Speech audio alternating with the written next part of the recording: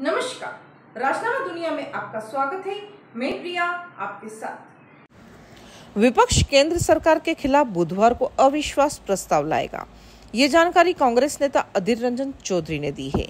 इधर मणिपुर मुद्दे पर मंगलवार को लोकसभा और राज्यसभा में जमकर हंगामा हुआ।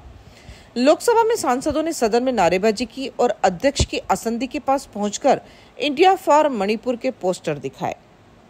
उधर कार्रवाई पहले 12 बजे और फिर 2 बजे तक स्थगित करनी पड़ी।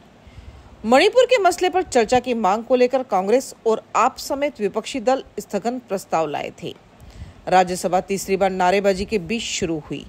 दो घंटे से ज़्यादा समय तक कार्रवाई चली। इस दौरान संविधान, अनुसूचित जनजाति, आदेश पांचवा संशोधन विधेयक 2022 पारित हुआ।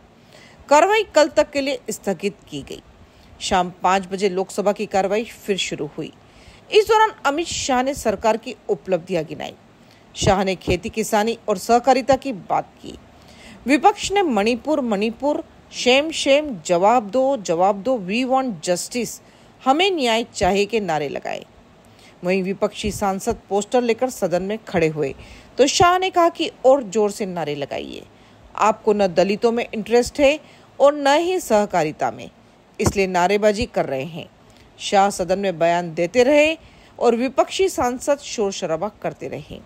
इधर शाह ने कांग्रेस अध्यक्ष मल्लिका अर्जुन खड़गे को लेटर लिखकर कहा कि हम मणिपुर पर चर्चा करने के लिए तैयार हैं, लेकिन इसके लिए अनुकूल माहौल बनाइए। इसी के साथ बने रहिए राजनामा दुनिया के साथ। धन्यवाद।